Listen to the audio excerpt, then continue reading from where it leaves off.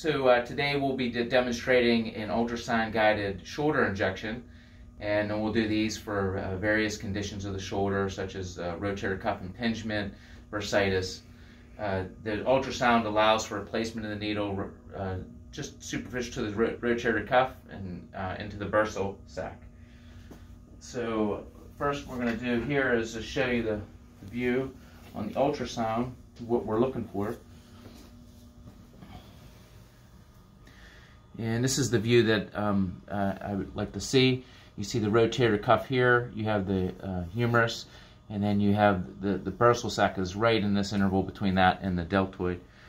And you can move the shoulder such as this, and you can see the rotator cuff uh, moving uh, with the humerus underneath that uh, at that potential space.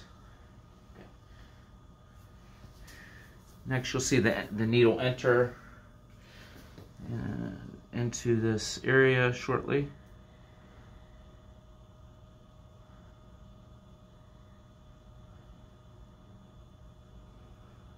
And there's the tip of the needle, and then you can start to inject.